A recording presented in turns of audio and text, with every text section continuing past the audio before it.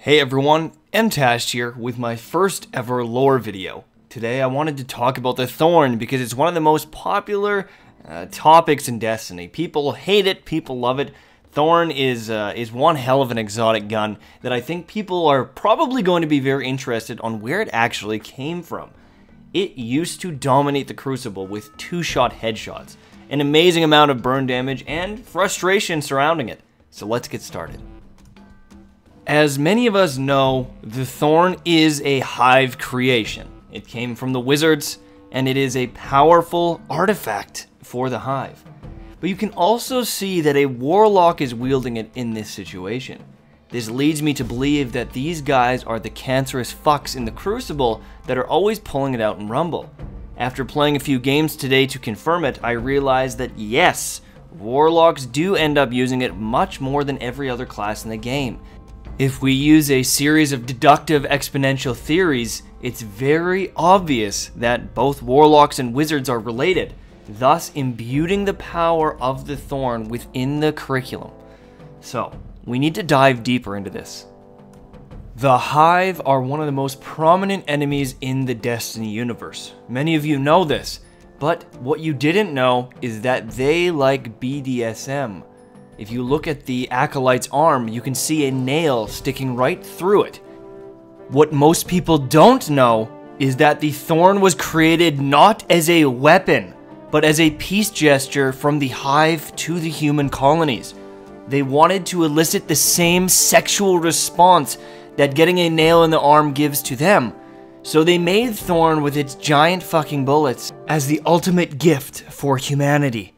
Unfortunately, we aren't alien freaks, so these giant thorny bullets poisoned us, killing many guardians. We saw this as an act of war, and we pushed in to start assaulting Crota. Upon hearing this, Crota and Oryx, the other Hive guy, decided that it was time to put an end to us Guardians and revamped the Thorn altogether. The father and son duo wanted to create a weapon of mass destruction, so they looked to their wizards. Weird, crystal space magic, as well as our human technology to create the perfect weapon. What they got was a devastating blow to the human race. By looking at Hawkmoon, the once master of PvP, Oryx realized the key components to making an annoying gun. He looked at the spikes that were on the weapon, near the top and bottom, and decided, we need more of those. And when looking at the ability to two-shot kill with the Hawkmoon, he said, fuck yeah, let's do that all the time. So for the next nine weeks, Oryx, Crota, and a mismatch of players from Destiny LFG completed the Vault of Glass over and over again, praying to the Lord that they would get a Hawkmoon for themselves. Upon receiving this mythical gun, they placed it within a thrall pool, waiting a fortnight to see what would emerge.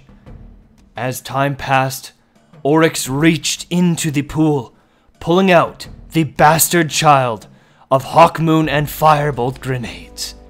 That's right. This gun not only two-shot kill, but would burn its victims to the crisp.